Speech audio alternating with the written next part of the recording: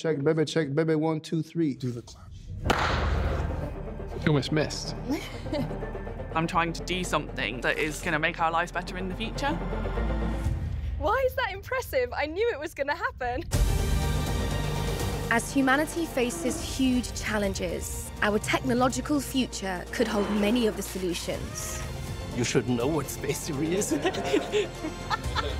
We can put an electrode on that spot there. Perfect. That's an incredible feeling. Yeah.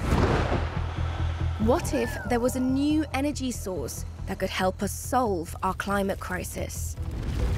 Fusion is called the, the holy grail of energy. You could go several times around the Earth with one tank of fuel in your car. It's like a no-brainer. Why are we waiting around for this? It's a bit difficult. What if there was a new way of eating meat without having to kill the animal? A lot of people are approaching us and saying, you are doing a Frankenstein meat. Mijn collega's zijn enorm sceptisch dat ik dit doe. Here we go.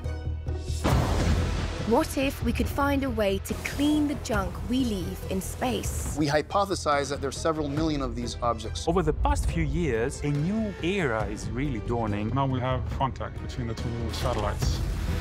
What if we could merge our bodies with technology in unimaginable ways? I have been called the world's first cyborg. My life has changed so much since I started wearing these bionic arms.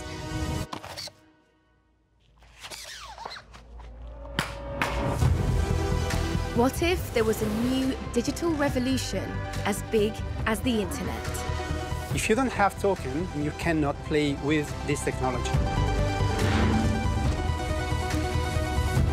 In this series, we will look into scientific innovations that are propelling us into a better tomorrow. Welcome to Fast Forward, a journey into the future.